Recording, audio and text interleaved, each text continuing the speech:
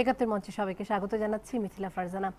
আমাদের বেশ কয়েকদিন ধরে একাত্তর মঞ্চ যে বিষয়গুলো নিয়ে হচ্ছে, সেই চলমান রাজনীতি, গণতান্ত্রিক প্রক্রিয়া, চলমান অর্থনীতি, এই সমস্ত কিছু মিলেই আমরা চেষ্টা করছি আপনাদের কাছে যতগুলো মত, যতগুলো মতামত তুলে ধরতে সেটি আমাদের প্রতিদিনকার চেষ্টা থাকে। আমরা জানি যে কয়েকদিন ধরেই জনগণ, নাগরিক সমাজ, ব্যবসায়ী নেতৃবৃন্দ, সমস্ত মানবাধিকার, নাগরিক সংগঠন, এরা সবাই বলছে যে বর্তমান যে পরিস্থিতি, সেটি নিরাপত্তা নিয়েও অনেকে উদ্বিগ্ন। উদ্বিগ্ন গণতান্ত্রিক প্রক্রিয়ার অব্যাহত যে ধারা, সেটিকে কতটা সচল রাখা সম্ভব সেটি নিয়ে এবং গণতন্ত্রের যে সুরক্ষা, সেটি নিয়েও অনেক ধরনের উদ্বিগ্ন। জনগণ রয়েছেন, উদ্বিগ্ন অনেক পক্ষ রয়েছে।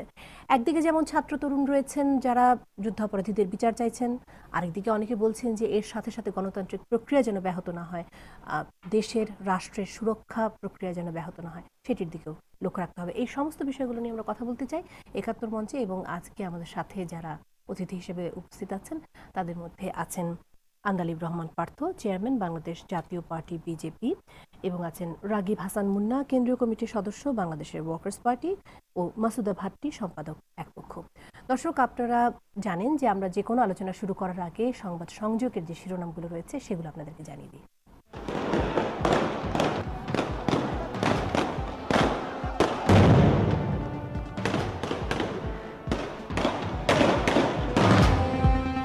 বোমা, হামলা ও পুলিশ হত্যার চেষ্টার কারণে বিএনপি কার্যালয়ে অভিযান, সরকারি প্রেস নোট, সম্পূর্ণ মিথ্যা দাবি মির্জা ফখরুলের। আজকে শেষ দিন আজকে আমরা বলেছি আজকের মধ্যে যদি না হয়, তাহলে আগামী আঠারো এবং উনিশ তারিখে এই দুই দিন লাগাতার হরতাল চলবে।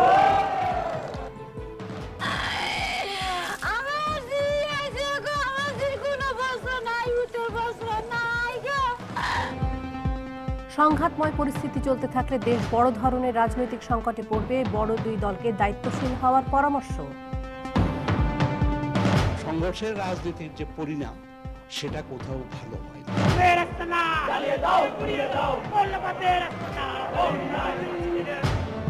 চট্টগ্রাম প্রেস ক্লাব চত্বরে চলছে গণজাগরণ মঞ্চের প্রতিবাদী সমাবেশ। আলোচনায় না বসতে অনর হেফাজতে ইসলাম। তাদেরকে সরকারের উচিত যেখানে গণজাগরণ মঞ্চ শুরু করে অশান্ত সৃষ্টি হয় সব গণজাগরণ মঞ্চ বন্ধ করে দেওয়া।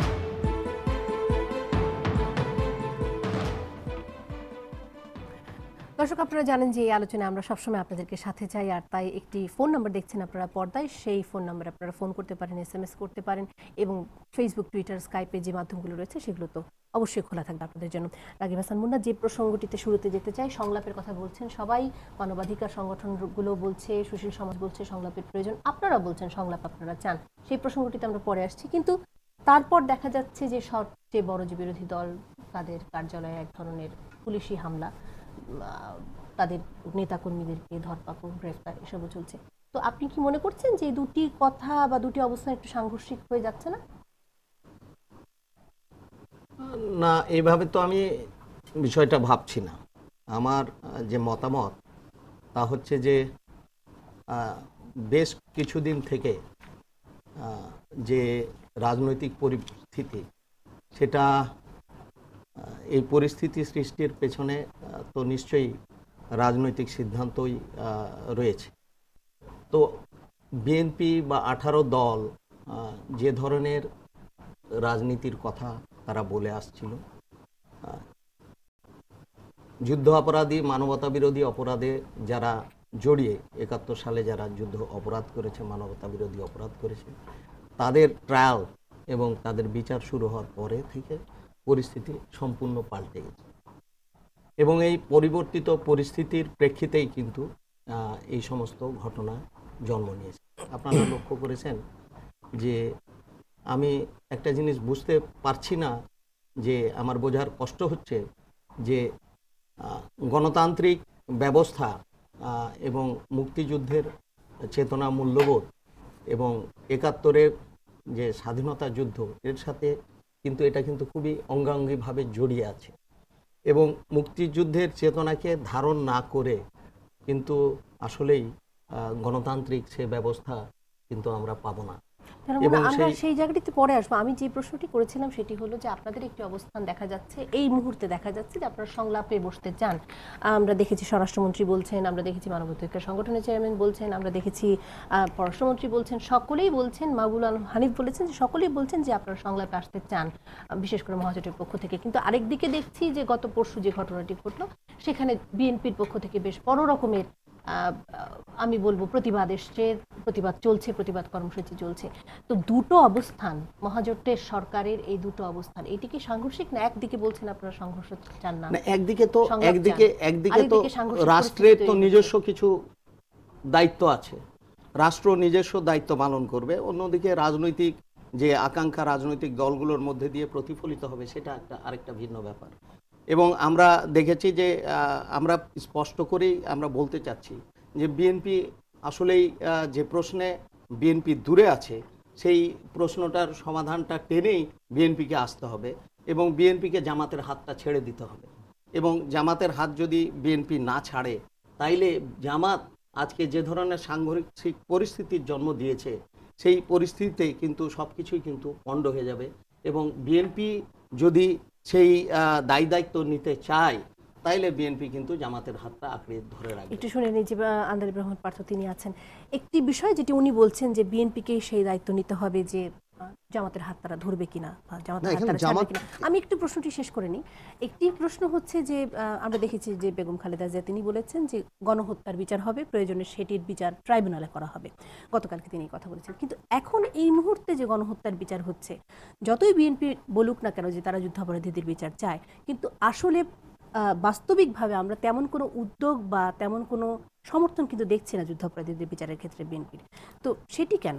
দেখুন আমি মুনাফের কথা ধরে বলছি এখানে আসলে জামাতকে নিয়ে যে কথাটা আমিও পার্সোনালি বিশ্বাস করি যে যেই যেই দলই আপনি আমাকে একটু সময় দিবেন কিন্তু কারণ প্রশ্নটা অনেক ওয়াইড আমি সবাইকে সমান সময় দেওয়ার চেষ্টা করব। বাংলাদেশে যারা মুক্তিযুদ্ধের চেতনায় রাজনীতি করেন না বিরোধী দল হোক বা সরকার দল হোক কারোই অ্যাকচুয়ালি নীতিগতভাবে রাজনীতি করার অধিকার থাকেন না। বাট আপনার প্র্যাগম্যাটিক হতে হবে Jamaat is establish political party তিরিশ বছর যাবত এবং এই জামাতকে বিএনপি বলেন আওয়ামী লীগ বলেন সবাই পলিটিক্যালি জামাতের সাথে ঐক্য করেছে। আমরা হয়তো একটু বেশি করেছি। আওয়ামী লীগও পঁচানব্বই সালে শহীদ 96 জন্মি ছিয়ানব্বই সালে জাহানার ইমাম যখন ছিলেন তাকে বাদ দিয়ে জামাতের সাথে আন্দোলন করে সেই মাগুরার নির্বাচন এবং আমাদের যার কারণে ninety six to two thousand one Jamaat was given a grace period সেই কথাগুলো অনেকবার এসছে। এক্স্যাক্টলি তো যাই করা হচ্ছে এটা পলিটিক্যালি করা হচ্ছে এখন। আপনি যে এই কথা বলছেন গণহত্যার কথা বলছেন একাত্তরের জেনোসাইড আর আজকের জেনোসাইড তো এক না। যে গণহত্যা টার্মটা নিয়ে যে কথাটা বলা হচ্ছে, একাত্তরের genocide of course was a larger extent অনেক বড় একটা জেনোসাইড ছিল। বিরোধী দলীয় নেত্রী যে কথাটা বলছেন, সেটা হলো যে মোডাস অপারান্ডে যেভাবে পুলিশ গুলিগুলি করছেন। আপনি দেখবেন টেলিভিশনে দাঁড়িয়ে যে যেখানে টিয়ার গ্যাস মারা, আমি আজকাল কিন্তু আর ওই ঢালটা আর দেখা যাচ্ছে না। উনি ওখানে মিছিল আছে পুলিশ এখানে বসেই চাইনিজ রাইফেল দিয়ে গুলি করে দিচ্ছে এবং রাস্তায় বসে গ্রামের মধ্যে গুলি করছে এবং কাস্টাডিতে নেয়ার পর পেটাচ্ছে। এবং এখানে তো police can use reasonable force এখানে কেমন জানি একটা মাতম লেগে গিয়েছে পুলিশের এই যে পুলিশ কাস্টাডিতে নিয়ে ঠেকিয়ে গুলি করে দিচ্ছে। তো এই জিনিসগুলি তো তখন এই মাইন্ডসেট যখন পুলিশের হয়ে যাবে এবং এরা যখন রিওয়ার্ডেড হবে, এবং এটা একদিনই কিন্তু হয়নি। এটা জনিল আবিদিন ফারুক থেকে পেটানো আরম্ভ থেকে আরম্ভ হয়েছে এবং তাদেরকে প্রমোশন দেওয়ার পর পুলিশ নির্বিশ এই এই এই চেইনটাকে তো আপনার থামাতে হবে। এইটাকেও তো একটা অফকোর্স ইটস নট আ গণহত্যা such compare to nineteen seventy one but এই মাইন্ডসেট যদি থাকে তাহলে আগামীতে তো এটা আরও অনেক বেড়ে যাবে। তো বিরোধী দলীয় নেত্রী হিসাবে তো এটাকে তো স্টপ করার মতো একটা জিনিস নিতে হবে। অফকোর্স জামাতকে তাণ্ডব বলুন, যতই বলুন আপনারা, যতদিন জামাত রেজিস্টার্ড পলিটিক্যাল পার্টি আমি এটাকে সহিংস আন্দোলন বলব। আপনার ব্যান করে দেখো আওয়ামী লীগ। টু মিনিটস আওয়ামী লীগের জন্য but Awami League is playing with it এই জিনিসটা তো বাস্তব মানতে হবে আমি একটু শুনে না আমি আমি আপনাকে আগে বলি আপনি আমার কথাটা শুনেন তারপর আপনি এখান থেকে পাবেন। তো জামাত সহিংস আন্দোলন করছে। এখন আজকে যদি শিবির বোম মারে তাহলে সেটা তাণ্ডব। আওয়ামী লীগ যখন বোম মারে সেটা সহিংস আন্দোলন। আওয়ামী লীগ যখন কাউকে চাকু দিয়ে আহ, মারবে আপনার তখন সেটা একটা আন্দোলন হবে। কথাটা কিন্তু সেরকম না। I am not showing any sympathy towards Jamaat. But আমার কথাটা হলো আপনি যদি আসলেই আন্তরিক হন আপনার হাতে এত কিছু আছে। আপনারা খালেদা জিয়ার বাড়ি নিয়ে গেলেন, আপনারা তত্ত্বাবধায়ক খেয়ে ফেললেন দুই ঘণ্টার মধ্যে। উনি জামাতকে বাতিল করে দেন না। তাহলে দেখা যাক না তাই সেটা কি। So basically it's all political কিন্তু। প্রত্যেকটা গেমই হচ্ছে পলিটিক্যাল এটা আমার কথা হলো বেডিয়ার পিলখানা থেকে আরম্ভ করে দশ হাজার কোটি টাকা থেকে রাশিয়ার অস্ত্র কেনা পর্যন্ত শেয়ার মার্কেট থেকে আরম্ভ করে লুণ্ঠন থেকে আরম্ভ করে প্রত্যেকটা জায়গায় চেন অফ কমন ভেঙে যাওয়া ব্যুরোক্রেট দিয়ে গভর্নমেন্ট চালানো পলিটিশিয়ানদের সরায় দেওয়া, এই প্রত্যেকটা জিনিসকে সরানোর জন্য আওয়ামী লীগ খুব সুন্দর প্ল্যান করে এই এখন জনাব পার্থ আমাদের এই মঞ্চতে আজকে আওয়ামী লীগের কোনো সদস্য নেই তাই আপনার অভিযোগগুলোর কোনো matter. আপনি 14 অভিযোগগুলোর কোনো উত্তর আমি দিতে পারছি না। 14 দলের দুটি liability তে যান- আপনি মহাজোটের আছেন। আমি একটু আপনার কাছ থেকে দুটো প্রশ্নের খুব সংক্ষিপ্ত উত্তর নিয়ে মাসুদ হাওয়াটির কাছে যেতে চাই। একটি হলো আপনি বলছেন যে এই গণহত্যা আর একাত্তরের গণহত্যা এক নয় এবং সেটি মানে বিস্তৃতির- দিক থেকে আপনি কি তাহলে মনে করছেন যে এই এই গণহত্যার যদি বিচারের প্রয়োজন হয়ে থাকে ওই গণহত্যার বিচার নিয়ে প্রয়োজন আছে কিনা? অবশ্যই প্রয়োজন আছে। আমার প্রশ্নটি ছিল যে তাহলে আপনারা কোনো চাক্ষুষ কোনো সমর্থন দিচ্ছেন না আমরা কিন্তু জিনিসটাকে সেভাবে বলছি না। আমরা এটার প্রসেস নিয়ে কথা বলছি যেটা পলিটিক্যালি করা হচ্ছে এবং justice must be seen to be done stand আমি আগেও বলেছি আপনি বলেন আমি আপনাকে জিজ্ঞেস সেটির কি কোনো আমি আপনারা স্বচ্ছ মাপকাঠি দিয়েছেন? আমি আপনাকে না, আমি আপনাকে একটা প্রশ্ন জিজ্ঞেস করি। আপনি একজন নাগরিক আপনি আপনি আমাকে পাঁচটা প্রসিকিউশনের নাম বলেন তো? যুদ্ধাপরাধ বিচারে name me five ways doctor Kamal Hossain ways Rokunuddin Mahmud ways Amir Islam ways Rafiqul Haque ways আপনারা রূপরেখা দিয়েছেন? আন্তর্জাতিক এবং স্বচ্ছতা? আপনি লাস্ট কোন বছরে ওয়ান ইলেভেন ছাড়া দুই রাজনৈতিক দলের মধ্যে একটা ঐক্যমত্য দেখেছেন? আপনি তো অনেক গোড়ায় চলে যাচ্ছেন। মিউচুয়াল রেসপেক্ট তো আমাদের নেই। আমাদের পলিটিক্স দুই দলের মধ্যে থেকেই জামাত কিন্তু আমি একটু, এই ট্রায়ালটাকে বিতর্কিত জামাত তো যাচ্ছে করবেই, জামাতের এবং একই সাথে সুর মিলিয়েছে কিন্তু না ইট ইজ নট রাইট না না না। না আমরা পলিটিক্স দেখেছি তাই বলছি। না এখন মিথিলা আপনার প্রশ্ন আচ্ছা, করার আগে আপনাদের ওনার দুনাদের দুজনের করার আগে আমার কাছে না করার প্রশ্ন করার দরকার নেই। আমি ওনার কিছু প্রশ্নের উত্তর দিতে চাই। উনি যে কথাগুলো তুলেছেন যে কথাগুলো তুলেছেন সেগুলো আসলে আমাদের উচ্চারণ হওয়া উচিত প্রশ্নগুলোর উত্তর পাওয়া উচিত। এক নাম্বার আপনি বলছেন যে সরকারকে সরকার কেন জামাতকে ব্যান করছে না? যদি আপনি তাই মনে করেন why you are not coming out from এক নাম্বার আপনি কথা বলবেন। আপনারা কেন বেরিয়ে আসছেন না জামাতে হাত আচ্ছা, হাত ছেড়ে? সরকার কেন আগে করবে? আমরা নিজে কেন নিজেকে ঠিক করছি না আগে। আমরা নিজেকে ঠিক করব আগে তারপর অন্যকে বলব আপনি ঠিক হন। আপনি আগে বেরিয়ে আসুন। আপনাকে আপনি নিজেকে দাবি করেন এবং আপনাকে বলা হয় যে বাংলাদেশের তরুণ প্রজন্মের রাজনীতিবিদে আপনি একজন। আপনি যদি এখন এই মুহূর্তে দাঁড়িয়ে বলেন যে না আমি আর জামাতের সঙ্গে আলোচনায় বসবো না। ম্যাডাম ওখানে বসে আছে আপনি তার পাশে বসে আছেন তারপরে জামাতের যুদ্ধাপরাধীর সবাই বসে আছে ওখানে। আপনি তার সঙ্গে মিটিং করছেন। আপনি যখন সেটা বাদ দিয়ে আসবেন যখন আপনি বাইরে এসে দাঁড়াবেন দাঁড়িয়ে বলবেন যে আমি বেরিয়ে এসেছি এবার সরকারের কাজ করুক। দেখেন করে কিনা। না করলে আপনার জনপ্রিয়তা কোথায় উঠবে আপনি বুঝতে পারছেন এক নম্বর কথা। দুই নাম্বার কথা আপনি বলছেন যে আওয়ামী লীগ এটা করেছে আওয়ামী লীগ ওটা করেছে। আপনারা কি ওটা আমরা কোহিনুর মিয়ার কথা ভুলে গেছি? হ্যাঁ না ভুলি নাই। ভুলি নাই। তাহলে কথা হচ্ছে যে আমরা এরকম আমি আরও একজন- করে দিই, জজ মিয়ার কথাও ভুলি নাই। হ্যাঁ একজন আরেকজনের। উপর দোষ চাপিয়ে তো কোনো লাভ হবে না। আমরা একটা সামনের কথা বলেন না কেন মাসুদা আপা মাসুদা আপা আমি পার্থরে বলি যে একাত্তর সালে যখন এখানে জনাসাইড গণহত্যা হয় তখন একই কথাগুলো বলেই কিন্তু। গণহত্যাগুলো আমি সেটার কথা বলছি। এবং আপনি যে আপনি যে বলছেন যে জামাতকে ব্যান্ড করে দেওয়া হোক না না আপনি আমি এটা বলি নাই। আমি বলছি আওয়ামী লীগ যদি আন্তরিক হয় আমি জাস্ট বোঝানোর চেষ্টা করছি তাহলে যে this is all politics going আপনি আন্তরিক হন আগে। না, না, আমি বলি, আমি আপনাকে একটা কথা আমি কিন্তু একটা কথা আপনাকে আমি আপনাকে একটা যান। না আপনি পার্সোনালি যাচ্ছেন কেন? না, না, না, আপনি আমার কথাটা আপনার শুনুন। না না আপনি আমার আপনার আপনি আমাকে কথা বলতে দিন আমি কথা বলতে পারব।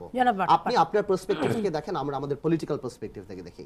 দুইজন মানুষ যখন রাস্তায় মারামারি করে দুটো দল তখন একটা বাচ্চা চিন্তা করে আমার স্কুল বন্ধ ব্যবসায়ী চিন্তা করলে কালকে হরতাল আমরা চিন্তা করি এখন কি হবে? ডেলি স্টার লিখে এখানে কোথায় লাঠি মারা হয়েছে হিউম্যান রাইটস এর কি হয়েছে। সো যে যার পার্সপেক্টিভতে দেখে ওকে, এটা আপনার বুঝতে হবে। আমরা পলিটিক্যাল আমি তো এখানে বসে বলছি আমি প্রথমেই বলেছি যে আমি মনে প্রাণে বিশ্বাস করি যারা বাংলাদেশের মুক্তিযুদ্ধের চেতনায় না তারা রাজনীতি করবে না। বাট আপনি ইমোশনাল আপনার আমি আপনি আমার you- আমি উনি আপনি শেষ আমাকে বলতে হ্যাঁ আমার আমি প্র্যাগমেটিক ডিসিশন নিচ্ছি যে আমি পলিটিক্যাল না। আমি এখানে জামাতের সাথে যে আমাদের যে ঐক্যটা হচ্ছে বাট বেসিক্যালি তো ঐক্যটা আমাদের বিএনপির সাথে প্রত্যেকটা ঐক্য কিন্তু বিএনপির সাথে। এবার আমি একটু না না না আপনি বলতে দেন আপনি একটু উনি শেষ বলেছেন। না না তারপর আপনি সময় পাবেন আপনি করে আমি বিরতিতে যাব এবং তারপর আমি আপনার কাছে আমাদের কথা আমাদের যে কথাটা সেটা হলো এখানে জামাতকে ছাড়া না ছাড়ার এখানে বড় ইস্যু না।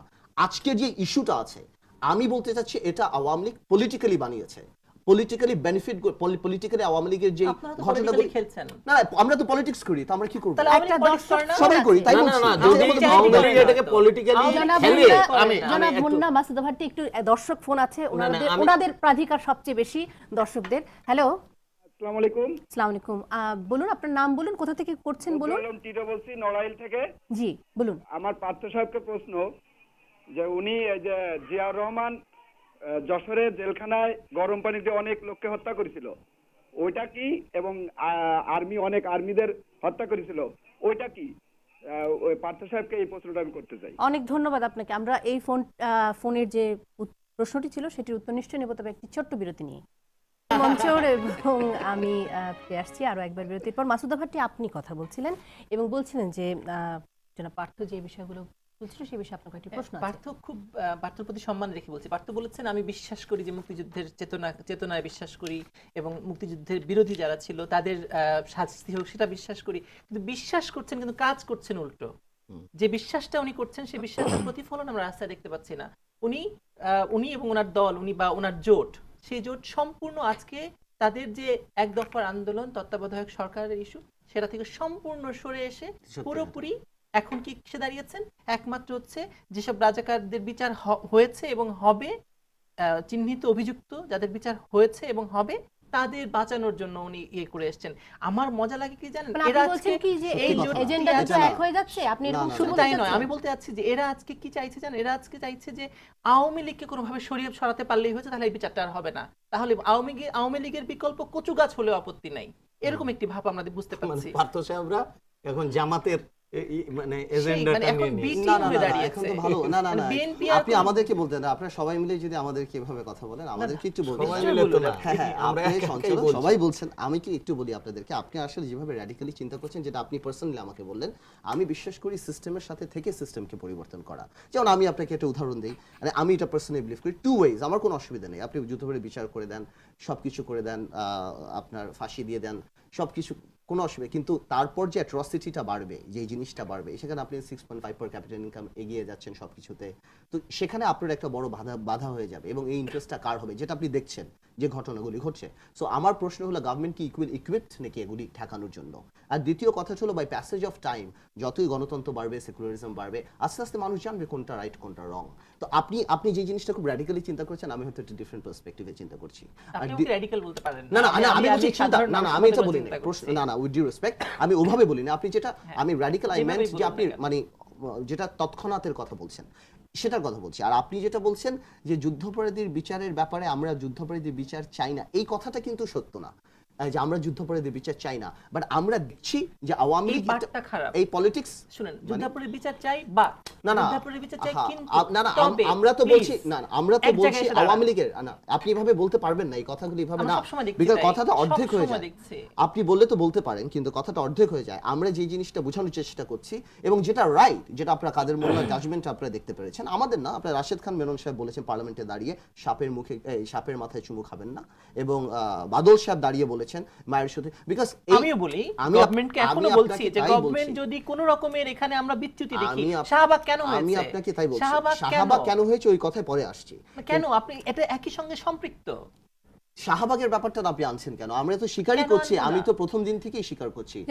আমি যদি একটু বোঝার চেষ্টা করি ভাবছি আমি একটু শুনে নিয়ে ওনার। কাছ থেকে আপনাদের কাছে যাব। সেটি হচ্ছে আপনি যেটি বলছেন যে আমরা পরবর্তী যে পরিস্থিতি হবে বা উদ্ভূত যে পরিস্থিতি হবে সেটির জন্য সরকার যথেষ্ট প্রস্তুত কিনা? আপনারা কি এই আশঙ্কাতেই তাদের আমি আমার পার্সোনাল কথা বলছি। না না না না আমি কিন্তু একদমই আঠারো দলীয় জোটের তরফ থেকে বলছি না। আমি আপনি যে কথাটা বললেন সেটার কথা বলছি আমার পার্সোনালি যে আমি কি র্যাডিক্যালি কি চিন্তা করি বা আমি আস্তে আস্তে কিন্তু এগুলো তো কোনো মূল্য নাই পার্থ। নিজের চিন্তা করলে না না দেখুন কে কার মূল্য দেয় না দেয় একটা কথা অন্য কথা এটা- দর্শক দেখবে তারা দেখবে। আপনার কাছে একটু আসব আমি আমার কথা বলছি যে আমি যেটা বলছি যে যে সরকারের কি প্র্যাকটিক্যাল প্রবলেম হতে পারে? আমি সেটার কথা আমরা সেটি যাব উনি যেহেতু সেটা মহাজোট সরকারের প্রতিনিধি হিসেবে উনি আছেন এখানে। আপনি সরি আপনার প্রশ্নটা? আমার প্রশ্নটা ছিল যে আপনি বলছেন যে এইভাবে করে চিন্তা করলে হবে না বাস্তবিক ভাবে চিন্তা করতে হবে প্র্যাকটিক্যালি বা প্র্যাগম্যাটিক ভাবে চিন্তা করতে হবে যে শব্দটিকে আপনি বলছেন। সেই প্র্যাগম্যাটিক চিন্তাটি কি?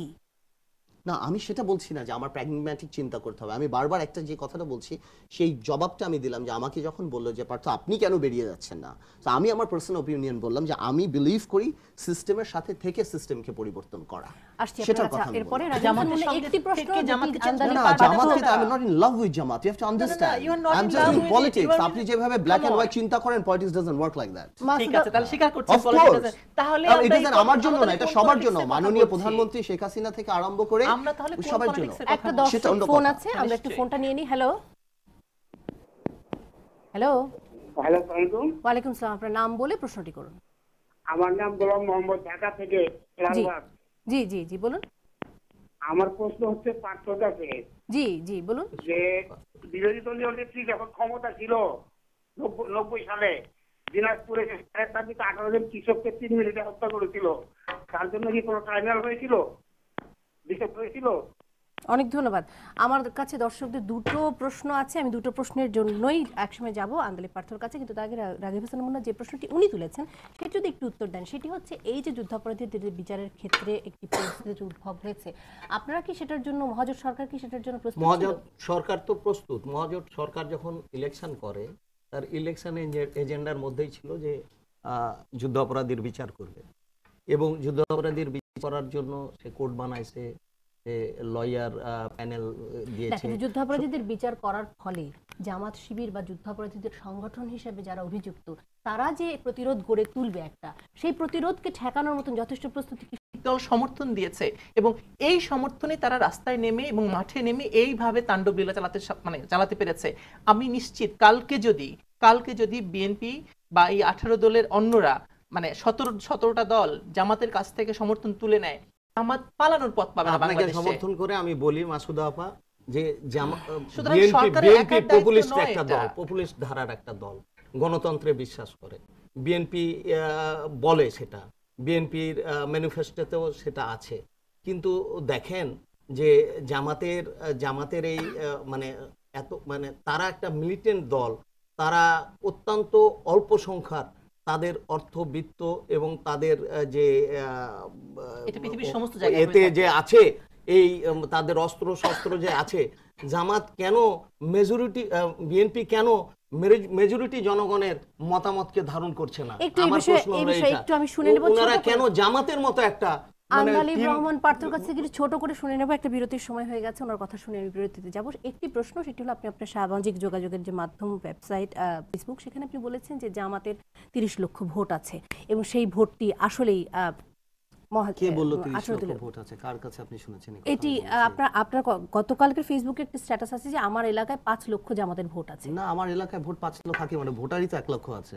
আমি আহ, কার যদ্দূর- স্ট্যাটাস দেখে আমার নামে যদ্দূর- বাইশটা অ্যাকাউন্ট আছে আমি জানি না আপনি কার স্ট্যাটাস তাহলে এই তথ্যটি নিশ্চয়ই ভুল। হ্যাঁ পাঁচ লক্ষ ভোট আমার কিন্তু আমার মূল প্রশ্নটি যেটি সেটি হচ্ছে যে আচ্ছা আমি কিন্তু জামাত করি না হ্যাঁ ফর অবশ্যই সাম রিজন আপনারা যদি ভুলে যান অবশ্যই না। আপনার আপনাদের জোটের মধ্যে জামাত যেহেতু আছে সেহেতু প্রশ্নটি এরকম না আমি জামাতকে ডিফেন্ডও করি না। না না it's not right Jamaat Jamaat Jamaat আমি আপনাকে জামাত নিয়ে কোনো প্রশ্নটি করছি না। একটু ধৈর্য ধরে আমার প্রশ্নটি শুনতে হবে। জামাতকে সাথে রাখার একটি অন্যতম কারণ হচ্ছে যেটি ভোটের রাজনীতি। নির্বাচনে জামাতের একটি ভোট আছে। অনেক কিছুই থাকতে পারে অনেক কিছুই থাকতে যেমন কি কি মনে করছেন যেমন আমরা অনেক কিছু মনে করতে পারি যে তত্ত্বাবধায়ক না দিয়ে এমন ভাবে জাজমেন্ট বা এমন কিছু করা হবে যে জামাত নির্বাচনে যাবে। সেখানে আমাদেরকে বাদ দিয়ে দেওয়া হবে। এটা আমি আমার পার্সপেক্টিভে বলছি, আমি বলছি না আমাদের ক্যালকুলেশনে যে এরশাদ সাহেব যাবে যাবে, সেখানে একটা নির্বাচন sixty sixty five percent vote হয়ে যাবে। সে ধরনের অনেক তথ্য। এছাড়াও আরও অনেক কিছু আছে যেটা আমি এখানে আপনার সাথে কথা মানে আমি আমি যাচ্ছি। বাট আমি আপনাদের কথা মানে সুর মিলে বলতে চাই যে আসলে আপনি যে শাহবাগের কথাটা বললেন, শাহবাগে শাহবাগের যেদিন লক্ষ লক্ষ মানুষ শাহবাগে নামলেন, কেন নামলেন? সরকারের জন্যই তো নামলেন। তাই না? course. সরকারের জন্য নামলেন না। সরকারের জন্য অথবা বিচারটা প্রত্যাশিত হয়নি because- জনগণের আকাঙ্ক্ষা বিকজ আমি বলি আমি বলি মুন্না ভাই বিকজ যারা পলিটিক্যাল পার্টিরা যখন অনেকগুলি কমিটমেন্ট করে পদ্মা সেতু এটা সেটা অনেক সময় হয় না করাপশন হয় পার পেয়ে হ্যাঁ। যায়। ভাই, ওগুলো নিয়ে বলি না কথা বলি না আমি আপনাকে হ্যাঁ, কথা বলতে দেন আমাকে আপনি কিন্তু এই ম্যানিফেস্টোটা মানুষ ধারণ করেছে। এই কারণেই তো এত এত মানুষ সেখানে চলে গিয়েছে তাই না? বাট প্রবলেমটা কি? আমি আপনাকে বলি আপনি যে বলেন যে আজকের এই দিনের জন্য কীভাবে শাহবাগের মানে আওয়ামী লীগ যখন শাহবাগকে পলিটিসাইজ করেছে আওয়ামী লীগ কি শাহবাগকে পলিটিসাইজ করতে চায়নি? আমার খুব ইম্পর্টেন্ট আপনি আপনি করলেন না কেন? আমি বলি আপনাকে বুঝাচ্ছি কেন করি না সেটাও বুঝাচ্ছি আমি আপনাকে। দেখুন প্রত্যেকটা জায়গায় চারটা ইনস্টিটিউশন একজন আরেকজনকে কমপ্লিমেন্ট করবে। নির্বাহী বিভাগ বিচার বিভাগ আইন বিভাগ এবং মিডিয়া আমরা যখন দেখেছি চার দিনের পর যখন শাহবাগে দাঁড়িয়ে গভর্নমেন্টকে ডিকটেট করা হচ্ছে কোথায় পতাকা উঠবে, তখনও কিন্তু অনেক মিডিয়া অনেক গণমাধ্যম তাদের করছে। কারণ আজকে যে জিনিস, দেশের একটা পরিস্থিতি, এটার জন্য কিন্তু প্রত্যেকের প্রত্যেককে কমপ্লিমেন্ট করতে হবে, নাহলে কিন্তু উইংগুলি ভেঙে যাবে। আমরা দেখেছি, না না, আমাকে শেষ করতে দেন প্লিজ এবং আমরা দেখেছি যে নবী করিম সাল্লাহ আসলামের ব্লগ নিয়ে যখন কথাটা আসলো, যখন বলা হলো যে ধর্মভিত্তিক রাজনৈতিক দল বাতিল করে, এবং আমরা দেখেছি যে শেখ হাসিনা মাননীয় প্রধানমন্ত্রীকে নিয়ে ফেসবুকে স্টেটাস দিলে দুই ঘণ্টার মধ্যে অ্যারেস্ট হয়ে যায়। কিন্তু যার নামে ব্লগের কথা আসছে, দেড় মাস পর তদন্ত কমিটি করা হয়। এবং তখন ইসলামিক দলগুলি চিন্তা করল যে আমরা কেন, কারা এদের আইডেন্টিটি কি? বাট আইডেন্টিটি কিন্তু ইম্পর্টেন্ট আমি বারবার বলি দ্য স্পিরিট ওয়াজ ইম্পর্টেন্ট সেখানে। বাট বাংলাদেশের রাজনীতি তো সেরকম। সেখান দিয়ে বলা হচ্ছে গণহত্যা খালেদাজিকে হত্যা করে আরম্ভ করা হবে। এবং কেন জানি বলা হচ্ছে যে আমরা যারা আছি, আমরা সবাই রাজাকার।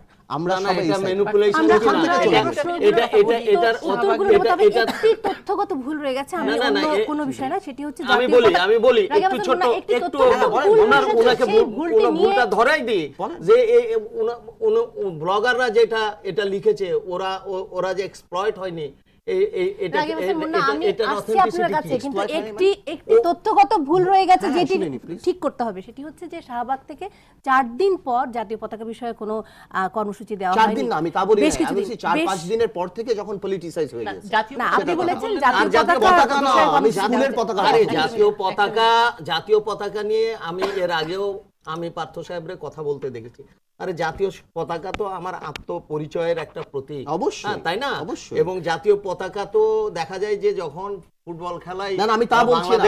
ভাই ভাই দেশ জাতীয় ভাই পতাকা মুন্না ভাই প্রবলেম ওটা না। মন্ত্রী সাহেব না না, মুন্না হ্যাঁ। ভাই মন্ত্রী সাহেব যখন বলেছেন স্কুলে লিস্ট করা হবে জানতাই নেই। আমি সেটার কথা বলছি। আর সেটা বলতে হবে। আমি দাঁড়িয়ে বলতেই পারি সবাই করবে না। Because- জাতীয় পতাকা উঠানোর কথাই লিস্ট করা উচিতই যে সব স্কুল জাতীয় পতাকা Right. তুলবে না দ্যাটস রুল হ্যাঁ, আমি আপনার কথাটাও শুনতে চাই। আমি সবার কথা শুনতে চাই। সেটা তো বলছি সেটার কথা- চলবে চাইছিলেন কোন একটি বিষয়ে শাহবাগ নিয়ে।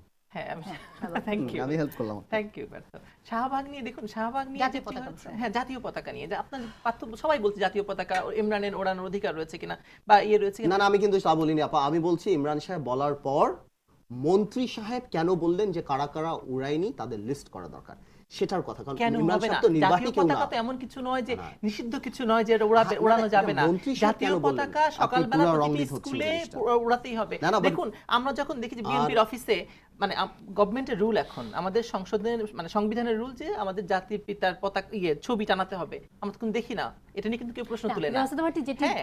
আন্দালি পার্থ বলার চেষ্টা করছেন আমি এই জিনিসটা বলি না, আপনি ওই প্রশ্ন তো উঠছে কেন? আপনি যে পাথর- আহ্বানটি জানানো হয়েছে পাথরের কেন? পাথরের এই অভিযোগ যদি আমরা মেনেও নিই কেন মেনে নেব ঠিক আছে পতাকা কিন্তু প্রত্যেক স্কুলে কিন্তু মানে প্রত্যেক সবাই মিলে আমার সাথে প্যাকেজ পার্থ পার্থ প্রত্যেক স্কুলে? কিন্তু জাতীয় পতাকা তুলতে আপনি। এই কথাটা বলছেন কেন আচ্ছা, আমি এটা বলিনি তো স্কুলে আমি যে আম- একটা প্রশ্ন করি জাতীয় পতাকা তোলার ব্যাপারটা বলার পরে যদি সেটা অপরাধ হয়ে থাকে না, না, সেটা বলি নাই তো আমি। করছেন আমি বুঝতে পারছি না যখন জিনিসটা। পুড়িয়ে ফেলল আমি জিনিসটা ছিঁড়ে ফেলল ওর মধ্যে আগুন লাগালো আমার বিশ্বাস আমার আত্ম অহংকার আমার আপ- তখন আপনি আপনার আঠারো দল বা আপনার আমি আপনাকে একটা কথা বলি। আমাদের আমাদের মানে শ্রদ্ধেয় ম্যাডাম আপনি আপনি- এ ব্যাপারে একটা প্রতিক্রিয়া আমি- আমি আপনাকে একটা কথা বলি। বাংলাদেশের জাতীয় পতাকা পোড়ানো যায় না? আমি আমি আপনি যদি বলতে দেন না। আপনি কথা আমি শুধু এটা প্রশ্ন করছি। আপনি জবাবই দিচ্ছেন উত্তরও দিচ্ছেন। আপনার প্রশ্নটি উনি শুনেছেন। প্রথম কথা হলো কে স্কুলে উঠালো না উঠালো সেটার কথা আমি বলছি না। আমি বলছি যে গণজাগরণ মঞ্চ নতুন প্রজন্ম মানে প্রজন্ম চত্বর যেটা যেভাবে নামকরণ করুন তাদের মনে হচ্ছে মনে হচ্ছে একটা নির্বাহী ক্ষমতা চলে আসছে। তাদের কথায় মন্ত্রীরা নড়ছে সেক্রেটারি নড়ছে। আমি বুঝাতে চাচ্ছি যে চারটা যে আমাদের প্রতিষ্ঠান সেটার মধ্যে একটা ভারসাম্যহীনতা দেখা যাচ্ছে যে সেখানে একটা শ্যাডো গভর্নমেন্ট বা একটা প্যারালাল গভর্নমেন্ট সেটার প্রশ্ন আমি করছি। সেই জিনিসটাকে আমি প্রশ্ন করছি। না না একটু আপনি না না এটা প্রশ্ন না সেটার কথা আমি বলছি আর কি। সেকেন্ড কথা আপনি যে জাতীয় পতাকা নিয়ে যে কথাটা বললেন জাতীয় পতাকা পুরানো হয়েছে আমি শুনেছি বাট আমি কোনো টিভি কাস্টিং এ দেখিনি আপনি কি দেখেছেন হ্যাঁ। আপনি দেখেছেন আচ্ছা, আমি বলছি। দেখা জাতীয়। হ্যাঁ, পতাকা আমি বলছি জাতীয় পতাকা যদি পুরানো হয় সেটা ঘৃণ্যতম অপরাধ বাট আমি আরেকটা কথাও বলছি আমি জানি না অত বড় অপরাধ না বাট আমি সেটাও দেখেছি কয়েকদিন আগে ছাত্রলীগ জাতীয় পতাকা মাথায় নিয়ে হাতে বড় কিরিচ নিয়ে রাস্তায় মারামারি করছে সেটাও আমি দেখেছি। আমি জানি না আপনি দেখেছেন নাকি না দেখলে আমি এটার পর বাংলাদেশ আপনি প্রতি দিয়ে আপনার সুবিধা সেটা দেখেন না না না আমি না না আমি আপনার কথাই মেনে নিলাম। আমি যেটা না না আমি কিন্তু আপনার সাথে ডিনাই করছি না। যদি না আপনার ভুল মনে হচ্ছে। জাতীয় পতাকা যদি পুড়িয়ে থাকে এবং পোড়াচ্ছে পুড়িয়েছে আপনি দেখেননি? হ্যাঁ না শহীদ মিনার আমি দেখেছি গণজাগরণ মঞ্চের পাশে শহীদ মিনারে বাড়ানো না গণজাগরণ মঞ্চের পাশে নয় কুমিল্লা না বাড়ি দিচ্ছে। আমি বগুড়ায়, শুনুন আমি আপনাকে একটা কথা বলি। আমার কোনো দরকারই নেই ডিফেন্ড করার এগুলি। জামাত ইজ অলরেডি আপনি হিটেড তো defend করছেন। না না আমি বলছি আওয়ামী লীগের কথা। না, না, না, আমি। জাস্ট বলছি এই সিনারিওটা শুধু আপনি বলছেন যে গণজাগরণ থেকে নির্বাহী কথা শুনছে। গণজাগরণ মঞ্চের কথা আমি বলছি। না না না তাহলে কেন প্রশ্নই না? ওঠে না। আমি আপনাকে বলি গণজাগরণ মঞ্চের কথা আমি আমি বলি আমি গণ, আপনাকে আমাকে কথা বলতে দিতে হবে। নিশ্চয়ই বলুন গণজাগরণ মঞ্চ প্রথম দিন বলল যুদ্ধাপরাধী বিচার চাই। সেখান থেকে তারা ইসলামিক ব্যাংক পর্যন্ত চলে গেল। সেখান থেকে তারা মাহমুদুর রহমানের আহ, বিচার দাবি চলে গেল। না কি। No no no Mahmudur Rahman কি করেছেন? আমাকে বলুন তার পত্রিকা আমি আপনাকে যেভাবে খেপিয়ে তুলে মানুষ মেরেছেন আমি আপনি আমার কথাটা শুনেন। যেই লোকগুলি যেই লোকগুলি সেখানে গিয়েছিল তারা যুদ্ধ অপরাধের বিচারের জন্য গিয়েছিল। মাহমুদুর রহমানের বিচার দরকার ইসলামিক ব্যাংক বন্ধ হবে কি হবে না সেটা একটা রিলেটিভ টার্ম আমি পছন্দ করতে পারি term, no, সে না আপনি করতে পারি। তো আপনার কি মনে হচ্ছে প্রত্যেকটা দাবির সাথে বাংলাদেশের প্রত্যেকটা মানুষ এক ছিল? একটু দাঁড়ান। আমার মনে হয়। আজকে আপনি জানেন আমি- আমি আপনি কি জানেন ইসলামিক ব্যাংক সম্পর্কে আমি আপনাকে জিজ্ঞেস করি একজন দর্শক। আছেন, না, না, আমরা কথা আমি কথা শেষ করব আগে। ইসলামিক ব্যাংকের ব্যাপারে আমি একটু কথা বলতে চাই। আপনি কি জানেন বাংলাদেশে একমাত্র ইসলামিক ব্যাংক যেটা ইসলামিক ব্যাংকিং করে টু সাম এক্সটেন্ট সুতরাং ইসলামী যে রিবাহ সবচেয়ে বড় হারাম সেটা ইসলামিক ব্যাংকের আশি লক্ষ গ্রাহক আমাকে জবাব আমাকে শেষ করতে দেন। বাংলাদেশে যে বারো বিলিয়ন ডলার আসে সেটা তিনটা থেকে না না কেন আমি আপনাকে হুমকি ব্যাংকিং ব্যবস্থা আমি- আমাকে কথা বলতে আপনি একজন জনাব পার্থ বুদ্ধিমান তিন চিন্তিত জনাব মুন্না এবং মাসুদা ভাট্টি একটু ফোনটা নিতে হবে আমাকে। এটি আমার দর্শক হ্যালো ব্যাংকিং ব্যবস্থা কি আর হ্যালো। ব্যাংকিং ব্যবস্থা ব্যাংকিং জি না, না, আপনার আপনার আপনার নামটি বলুন একটা সালাম বিশেষ আলাইকুম আপনার নামটি বলুন একটু জনাব মুন্না। আপনার নামটি বলুন এবং প্রশ্নটি করুন। আমি ইঞ্জিনিয়ার আব্দুল বারি বলছি। জি কোথা থেকে বলছিলেন? আমি শান্তিনগর থেকে বলছি। জি বলুন। আচ্ছা আমি ওই আহ, পার্থদাকে একটু একটা প্রশ্ন করতে চাই। জি। সেটা হলো যে এই অনুষ্ঠানে একটা একটা বিষয় এখানে উঠে আসছে যে যদি বিএনপি জামাতকে সাপোর্ট না করে তাহলে তাহলে জামাত এখানে পালাবার কোনো পথ পাবে না। সেটি বলছেন মাসুদা বিষয়টা- ভাট্টি জি। এই বিষয়টা আমি সাপোর্ট করি। আপনার কিন্তু প্রশ্নটি আমি- করুন জনাব কিন্তু আমি যে প্রশ্ন করতে চাচ্ছি জি। যে বিএনপি এই জিনিসটা করবে না খেলা জামাত যদি সরে যায় তাহলে বিএনপির হয়তো সাইডটা আস্তে আস্তে দুর্বল হয়ে যাবে। আমি এইভাবে একটা ব্যাখ্যা চাচ্ছি এটা ওনার একটা মতামত চাচ্ছি। অনেক ধন্যবাদ আপনাকে। দর্শক প্রশ্ন অনেকগুলো চলে এসেছে। উনি যেটি মূলত জানতে চাচ্ছেন যে বিএনপি কে এজন্যই ছাড়ছে না যে তারা তাহলে তাদের জোটটি দুর্বল হয়ে আমি আমি বিএনপি কে রিপ্রেজেন্ট করি না সো আই এম নট আপনাদের জোট- জোট 18 দলীয় জোট কি দুর্বল হয়ে পড়বে মনে না করেন? আমাদের 18 দলীয় জোটের যে জিনিসটা হলো আমরা ইস্যু ভিত্তিক আমরা করেছি। আমরা যুদ্ধপরাধীদের ক্ষেত্রে যে আন্দোলন যদি বিএনপি জামাত করে থাকে সেটা জামাতের এক দফার আন্দোলন। আমাদের আন্দোলন হলো তত্ত্বাবধায়ক সরকার আন্দোলন। আমি লাউড অ্যান্ড ক্লিয়ার আমরা এখানে বলে দিচ্ছি। বাট আমার মানে ভাই যেটা বললেন যে পলিটিক্যাল স্ট্র্যাটেজি কি হবে না হবে সেটা অনেক উপরের কথা এবং সব ব্যাপারে আমরা আমরা যেখানে বসে কথা বলি সেটার ভিতরে আরও অনেক কিচেন ক্যাবিনেট থাকতে পারে, আঠারো অনেক। আঠারো দল যে গত আমাদের- আমাদের বেশ কয়েকটা হরতাল টরতাল ডেকেছে এবং আগামী দুই দিনও যে হরতাল টরতাল ডাকছে এই দাবিগুলোর সাথে কি না আপনি এখন চাচ্ছেন এটা ঘুরে একদম মানে মানে এটা হলো আমরা যুদ্ধপরাধী ছাড়ার জন্য এই হরতাল না, তত্ত্বাবধায়কের মানে আপনি দেখেননি আমাদের আপনি দেখেননি আমাদের আমাদের বিএনপির পার্টি অফিসে কি সুন্দর ডেকোরেশনের মতো দশটা বোম রেখে আসছে? আপনি দেখেন একশো সাতান্ন জন করছেন আমাদের সময় নেই। দেখিয়েছে। মাসুদা একটি বাক্য যদি শেষ বাক্যটি বলেন কারণ মু- না না জনাব মুন্না ভুল এবং কথা জনাব বলেন পার্থ আপনি। বলেছেন আপনি তাহলে আপনি মিডিয়াকে অস্বীকার করছেন বাংলাদেশের মিডিয়াকে বাংলাদেশের প্রত্যেকটি মিডিয়া কি যে বাংলাদেশের প্রত্যেকটা মিডিয়াকে দুইটা বোম দেখিয়েছে thank you। দশটা আর দেখায়নি। তাহলে আপনার media no problem no problem না না আমি সবাইকে বলিনি। আমি সবাইকে বলিনি। না, না, সবাইকে দেখিয়েছে, একটা কথা সবাইকে বলব। বলার সময় নেই। কথা বলারও আর সময় নেই। ইচ্ছা পার্থ ভালো শোনেন, অসুবিধা আমি একটা কোনো অসুবিধা নেই, you're একটা- welcome, একটা anytime. একটা শুধু কথা বলি। যে আমার কোনো অসুবিধা সময় শেষ আমি দুঃখিত আর একটি কথাও নিতে পারছি না। দর্শক, আমি জানি যে আপনাদের অনেক কথা আছে।